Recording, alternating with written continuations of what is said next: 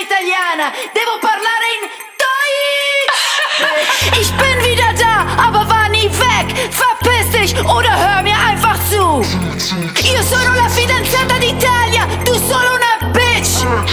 Das ist echte Scheiße. DJ Enzo macht ihren Schnauze kaputt.